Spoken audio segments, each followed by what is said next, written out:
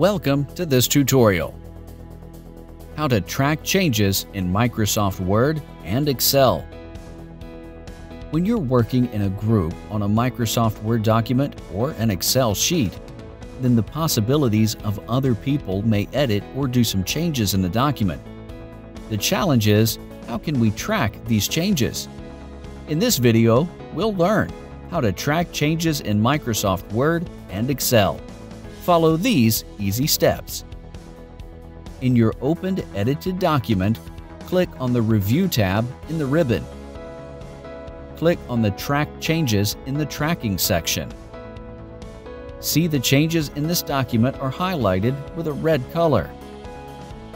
You can see the original document by clicking on the Display for Review drop-down list and then select the original option. If you want to see the final edited document, then click again on the Display for Review drop-down list and then select the Final option. The Final Show Markup will show you the final document with changes. Now open the Excel sheet. Click on the Review tab from the ribbon. Under the Changes section, click on Track Changes click on the Highlight Changes from the drop-down list. Check the box of Track Changes while editing if it is not selected.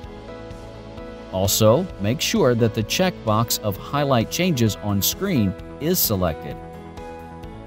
Click on the OK button and then click again on the OK button if an alert box appears.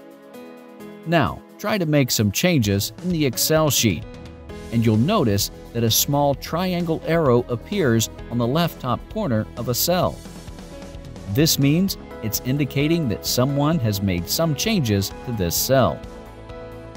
If you will hover the mouse, it will show you the made changes with the date and time of the changes. Wasn't that helpful? Thanks for watching. Please subscribe to our channel.